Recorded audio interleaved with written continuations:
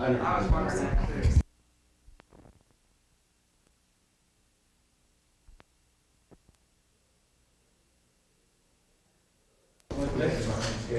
I am sure, I'm sure. Very sweet to meet you. Well, come on. Hi. Hello, how are you? Come in, sit down. Thank you. How is uh, Mrs. Reagan? Just fine. And you? Fine, yes. uh, I just came back from California watching the uh, shuttle landing. Yes. And How come you weren't up there? But Well, if I wasn't doing this business, Mr. President, I think I would have been there. But uh, we're really grateful for giving uh, one of our boys a chance to go on the uh, Well, the. I was Very- very pleased to it. It was a very successful trip. It was. And His Majesty sent you his best, and uh, he sent it to you twice. Once through me, once through the, the shuttle when he had the press conference with the astronaut. He asked him to send his best uh, wishes to you, and I said, "My God, but he's in outer space now." You know. Well, uh, I I wanted, uh, Mr. President, to uh, express our uh, condemnation to what's happening to the hijacking uh, incident place. And uh, God knows we were victims of it ourselves only twice in the last few uh, weeks. And uh, it is uh, very saddening to see what states the world has uh, got to. We believe strongly that uh, it is very uh, inhumane on the general level. but uh, for our purpose specifically, it is uh, very, it's contrary to our Islamic teaching or any faith teaching and to our culture. And uh, regardless of what the pretext, two wrongs don't make one right. Yeah. Even if there was a complaint from something that is justified, you don't go rectify wrong by causing another wrong. But His Majesty wanted you to know that uh, he does uh, feel strongly about this. Well, share it with we appreciate that. We appreciate anything he, uh, we understand that Berri is in contact with Assad. Anything that could be said to President Assad about, uh, Yes, sir. He uh, is not. Mr. President, thanks for the lunch. It was great. This, this is Andrea North, Susan North. This is Susan North there, and this is Nicole North, and Andy, Andy, of course, you know. Hi, congratulations. Well, listen, I want to apologize first of all to keep you all waiting. Well, that's quite all right, Mr. President. Got a few little international problems that uh, now and then throw us off schedule.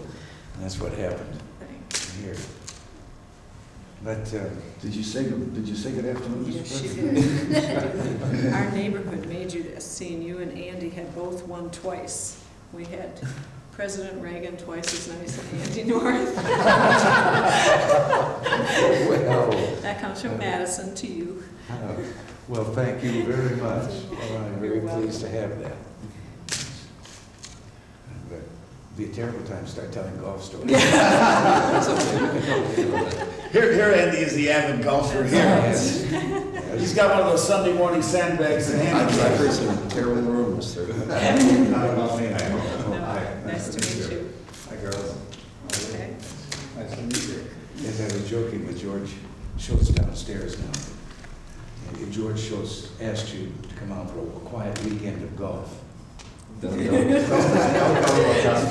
was, we went to Augusta with you for a quiet weekend. And awakened one night to hear about the terrible tragedy in Beirut. Down. And the uh, next night was, uh, oh, the Grenada thing. And the next day, we thought we could get some golf in, chance. and we got to the 16th hole. And the word came down to us that we stopped there because there was a fellow with a gun in the clubhouse that was holding the people. Time to end. It wasn't a very And lasting. we were all even to the 16th at Augusta. First line, I it. have a few things here. Danny, I don't want you to back out. You gotta go to Chicago with us. Now, this is a a pin for you. These are some golf balls. And this is when you get really mad and take out a sandblast. Thank you. Got a crack I appreciate it. And uh, in, whoops, in here is a jar of jelly beans. sealed and engraved. That's what you asked for this But morning. keep, but to keep you from opening the jar now, why, we thought we'd give you a little bit of the roll. All right. That's a great idea. That's right. And then, when they start counting cavities. uh, Thank you much. Thanks for having us in. This is a thrill. Your pleasure. And I understand you play a little bit once in a while. Well, it becomes. Tell them what your, your handicap used to be when you were in Hollywood. Well, it was uh, fourteen. And I was the most sought after fourteen golfer as a partner in the club because it was when I was in pictures. So you'd be weeks and weeks away, no, nothing at your club because of, you know, work. Then you would come back and start turning in your scores again. And so I was usually shooting around seventy-eight to eighty-two with a With a fourteen. great handicap. Oh, boy. They had a, they had a club tourney once, uh, uh, kind of ran for a month, and you turned in your scores for a month. And they, at the end of the month, they took the best score you had on each hole of the course, and then you won the new golf shoes, if you had the loss. I got the golf shoes. I ended up with eighteen birdies. Oh, geez. No, that's actually rough. That's But not. that's what, it was always golf every day, or then no golf at all. Oh, Now it's golf every New Year's. In the spring, it's water. I've, I've heard that, that that was a, a great, once a year to get out there for a day or two, and that's, But I can tell you all something that I learned. You make no allowances for yourself. You get just as mad with the That's what you want. it's hard to justify it, because you know you can do it, but it's just, you haven't been doing it. Well, Mr. President, thanks a lot. Thank you much, yes, I appreciate luck. it. Have a nice time. Appreciate it. You heard what he said. Here it is, sir. You get that right. All right. Nice to meet Nice to see you. And you. Bye-bye. Thanks. you. Bye-bye. Thank you. Bye. Good luck, Andy. Nice to meet you. Thank you for having us up. This, uh, this is fantastic. So you guys are real busy. Well, thanks. Listen, I asked you all here, and I thank you all for coming. Uh, It's not just to exchange information about the weather or anything. I'm very concerned about the matter of appointments, and what has been uh, happening, I think, all too often and too much. I recognize and respect the right and the duty of the Senate to confirm. But last year, in the election year, I understood why when Democratic senators were conducting lynchings or attempted lynchings on some of our nominees, they hoped maybe they could wind up in the White House as well as other places. And uh, so I could understand it, but when members of our own team, Republicans, we've got a Republican majority in the Senate, we've got a Republican in the White House. And the appointments we make, I'm quite sure, that sometimes, or some of them might wish someone else uh, had the job, or you might disagree sometimes on the policy of the individual, but that is not supposed to be the Senate's duty. The Senate's duty really is uh, regard to qualification or otherwise. And uh, I feel that too often the criticisms have been made on the basis of difference of philosophy or something of that kind. We get them clear before they're even announced. Many of these that are proposed are people who've been willing to give up a pretty lucrative lives out in the private sector to come in and take these government appointments. And I just feel that we're challenged to prove that we as Republicans uh, can govern. If we're to continue trying to get the other house and really be in position for about forty odd years of the last fifty, the Democrats have held, which is control of both houses. You know, for these last four, we've had control of the Senate. There hasn't been anything like that for a great many years. And uh, frankly, I just take now with an election coming up, I find myself hard pressed to be as enthusiastic as I'd like to be with regard to whatever I can do to help in some of the campaigns. when- When I find myself on the opposite side of of, uh, our own Republican senators with regard to appointments that are, according to the Constitution, the right of the president to make. With that, uh, let's open it up. Mr. Secretary, it's nice to see you. Hi, Jack Alan Dixon, nice to see you. Come in, and sit down. Thank you. Where do you want to put me? Right there. All right. And I want to thank you the last couple of years, for all the support you've been on a number of things.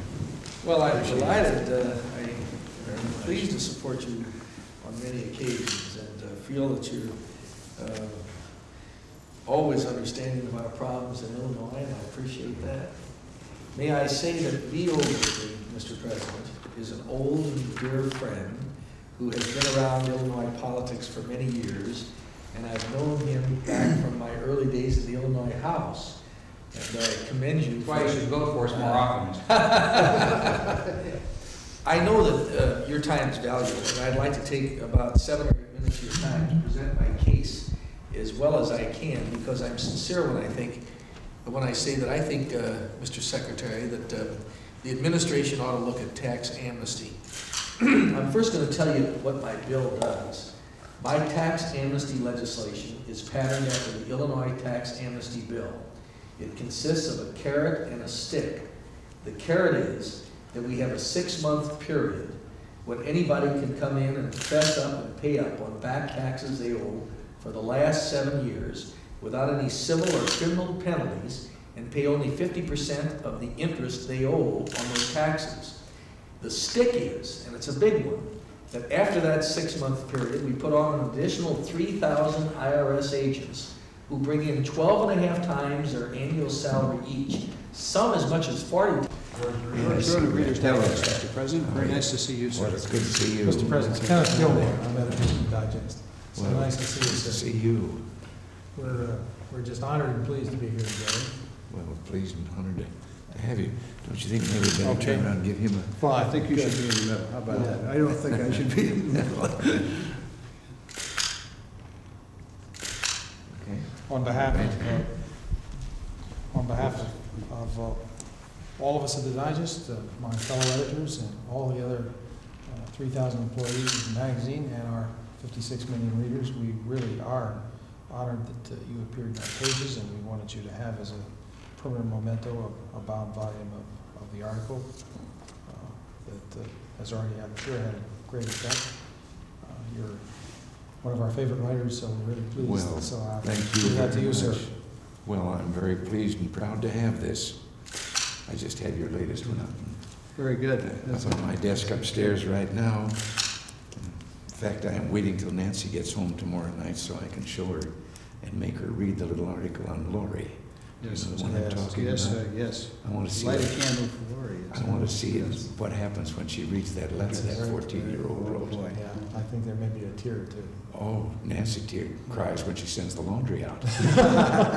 She'll really puddle up on that. Uh, Mr. President, this morning, uh, I came down and gave a little talk at the National Press Club in this very same issue, in the back of the issue. um, There is a business roundtable advertisement, which is an advertisement that says halt the deficit. And these cards have been coming in to the extent of uh, one million cards have been dis- distributed, and they've been mailed to their congressmen, uh, and by congressmen and by senator. For example, Senator Alphon- uh, Alphonse D'Amato would have received forty-nine thousand nine hundred cards saying from his constituency, halt the deficit. And Cranston got a lot. Cranston received ninety-eight thousand nine hundred ninety-eight cards saying halt the deficit. Good. So this morning, I came down and, and gave this little um, chat at the National Press Club. And in addition, we did a poll over the weekend, which said that the number one concern on the part of the American public was halting the deficit. With Gallup. And it was a Gallup poll who did it for the Reader's Digest. Uh, and it's interesting that fifty-four percent of the people said that it was the single biggest problem. In addition, that- that it was sixty-four percent when you go to college-educated people. So we produced a button, which I distributed to the national uh, press group that was at the breakfast this morning, and I wa- I wanted to present you one, which is Hope to Deficit too. Thank you very much. I'm not sure you want to wear it, but at least it- you're very nice to let us come here. Thank you Well, very much. listen, sir. I appreciate this too. I'm Thank you. honored. Thank you for your- your time, and good luck in the very delicate things that are going on these days. We appreciate the position you're taking. Thank you. Thank you, sir. Bye-bye. Thank you. I think I'll keep this in the desk and I will wear that when we have, when we have congressional groups in. Good idea. Might have her hand. Pleased to have that. Yep, that's where I'll keep it, right here. Next, we have one of your Secret Service super. I guess we gotta do the traditional op- Snapshot. Hmm. God bless President Reagan. Hi.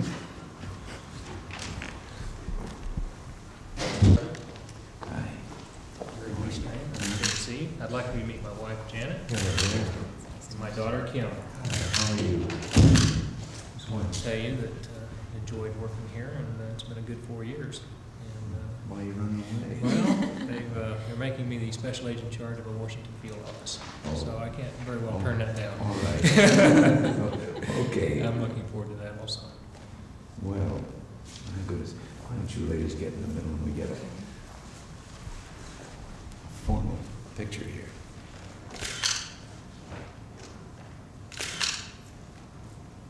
All right. Thank you Would you very much. like a, a single? Yes, if we could, I would appreciate it very much.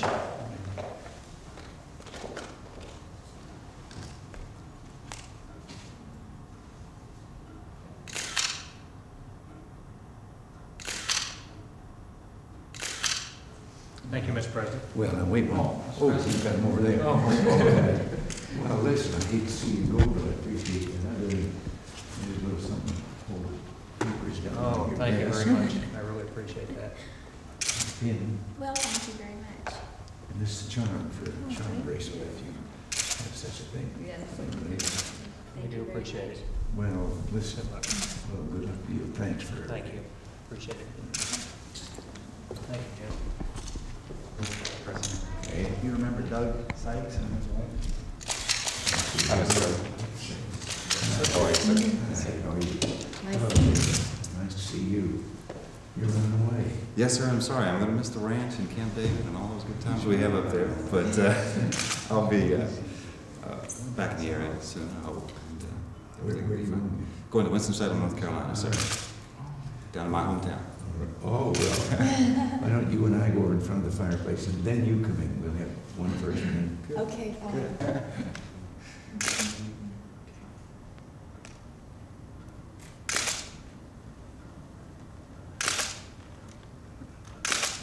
All right, now. Gee.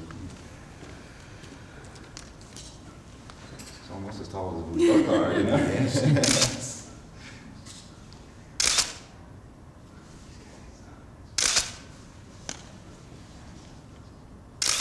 Okay. All right. Thank you, Mr. No one is tall anymore since Kareem Jabbar came in. That's right, I remember. And ducked to go through that door. I remember you had to bend down to the microphone Oh, yes. Thank you, sir. Well, good luck. Thank you, good luck to you. Thanks. Thank Thanks you. for-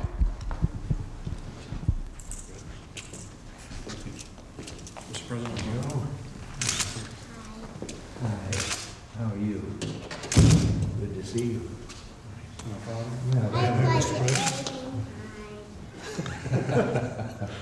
Well, Joe, let you and me go in front of the fireplace, and then we'll have you two come in after we take one, just the two of us. You wait there. Miss you.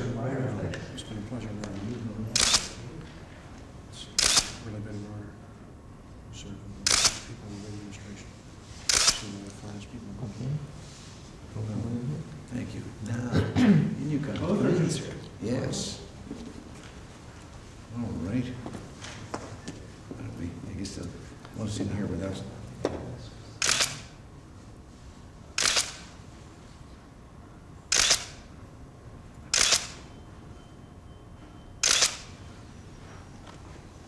There. How's that?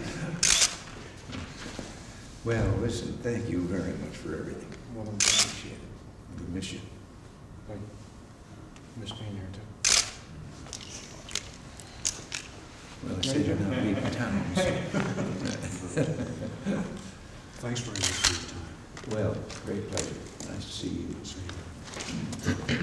Mr. President?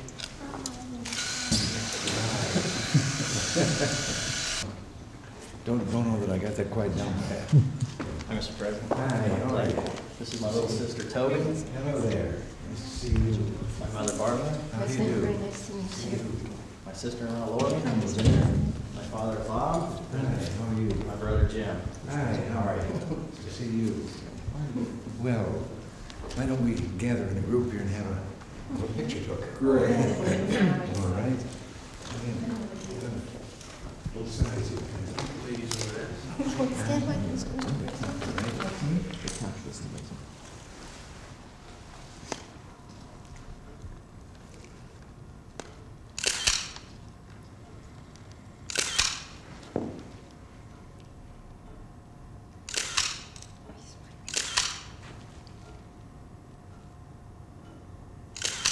Just let me do a couple more since there's so many people. Okay, thank you. Thank You want, Mike and Jim, you want to do uh, one along with the president or two? All right. Being on side of bookings.